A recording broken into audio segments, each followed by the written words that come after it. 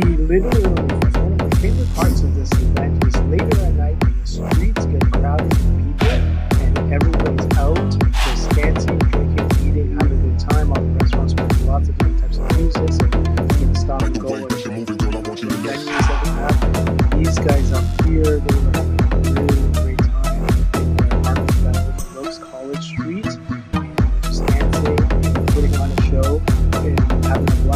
are ha- having a real blast watching. them. We have the benefit of live around so we want to pop in and out of event all day and night.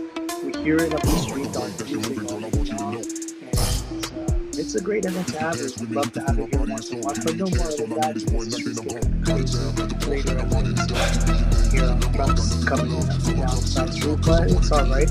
Let's together, and all ages, all.